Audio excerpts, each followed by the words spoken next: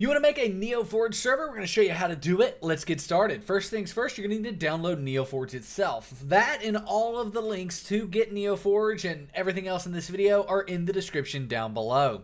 Once you're here, go ahead and click Download NeoForge to go to the official download page. On this page, you want to make sure 1.21.10 is selected, and then just click here to download. And that's literally what the button's called. Click here to download.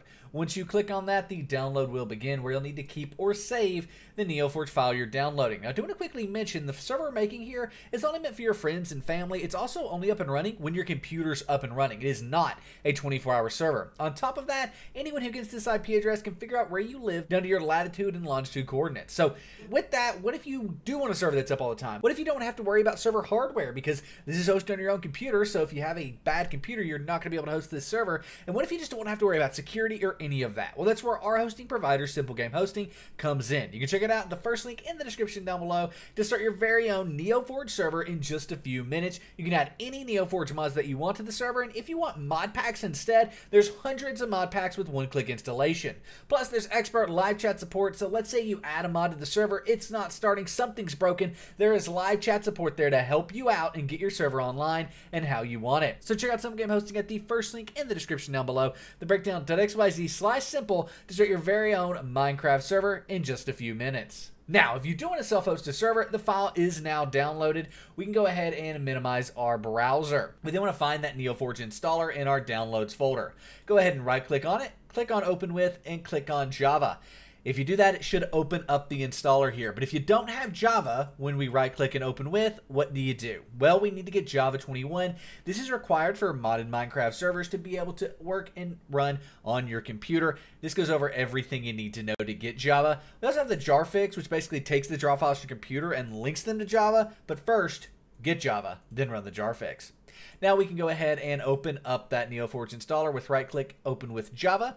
And we first want to install client because anyone who joins this server, including yourself, needs to open up the NeoForge installer like this and install client and then click proceed. Anyone who joins your server also needs the mods that you install on your server to be installed locally as well. Unfortunately, that's just a limitation of modded Minecraft. If you don't want to have to have people joining your server adding the mods, you're going to need to use a thing called plugins, which you can find very easily. Nevertheless, we can click OK there and we can reopen up the installer. This time we're going to be doing the server side of things. Go ahead and click Install Server. This red box will appear. Click the three dots in the red box and then click on Desktop. Then you want to right click and create a new folder. We're going to name this NeoForge 1.21.10 server. Then you want to select that folder you created by clicking on it and then clicking select. Now we can go ahead and make sure that start server jar is included. We want to make sure this is checked and then click proceed. It will now download, install, do everything that we need to get basically up and running installed in that folder that we created. Now we can click OK, we'll close out of that and we can find the folder on our desktop here. In this folder we have a bunch of files including this run.bat file. It's a Windows batch file. Double click on it and your server will attempt to start, but it's going to fail. As you can see, press any key to continue. But we have some files and folders here. We want to open up the eula.txt file, and assuming we agree to the Minecraft EULA, change eula equals false to eula equals true then do file save. We're good there. We can close out of this and double click that run.bat file again.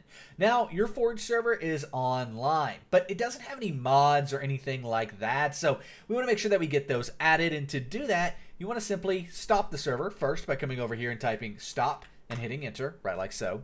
It's going to close out of the server and make sure it shuts down properly. And then we want to download some mods. Now, it kind of doesn't matter what mods you want to install. They're all installed the same way. So in order to do that, I'm just going to go ahead and grab a few here. Specifically, I want to go ahead and grab the Waystones mod. The reason being is if we go to the files here, we will be able to see that one, it does have a 1.21.10 NeoForge version. That's required. This obviously will only work for NeoForge mods. But if we click on this, this is the important part, we can go to related projects and see that this requires BALM. It's a required dependency, meaning if you don't install this on your server, it's not going to work. Always check mods you add for these because most of the time, if your server's not working, this is why.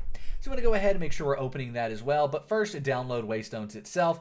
It'll download after a few seconds. We can then go ahead and repeat this process for the BALM dependency mod, the NeoForge 1.21.10 version. Another trusted place to get mods is Modrinth. Also trusted, also good to get mods from here, but the process is pretty much exactly the same. Now we can go ahead and minimize our browser. And what we want to do is take those mods, Balm, Waystones, and any other NeoForge mods you want to install, and drag and drop them into this mods folder within our server folder here. You can see the run.bat files in here, and there's a mods folder. Open that up and move the mods in here. But you're not done. You want to make sure you select them right click and then copy them. Because like I said these need to be installed locally in your mods folder. You would also want to make sure your friends download these mods and install them as well in their mods folders. Now though these are installed on the server so we can go ahead and double click the run.bat file to start the server and open up the Minecraft launcher. But don't play Minecraft yet to install these mods locally, just go to Installations and then hover over your NeoForge installation. Click the folder icon and then find your mods folder. If you don't have one, just make one. Then right click and paste these mods in here, you're good to go. That process I just did is what your friends also need to do. Then play Minecraft with NeoForge. Once you're in game, you can join your server. Now, at this point, you're the only person that can join your server, but of course, I recommend testing things just to make sure that things are going to lag and stuff like that before your friends join. So go to multiplayer. We can add a server here. We'll call this a local connection because it's a local connection that only you can use. And the IP address is going to be local host. All one word, exactly like that. Click done, it will resolve and you can double click to join. You'll see us join in here in the background. Now, we have Waystones installed locally and on the server, so we can go ahead and op ourselves by coming over here and typing op and then our username in the console, and that'll allow us to do things like go into creative, and we can find Waystones here and obviously place one down just to prove that it is working. This will be our spawn waystone.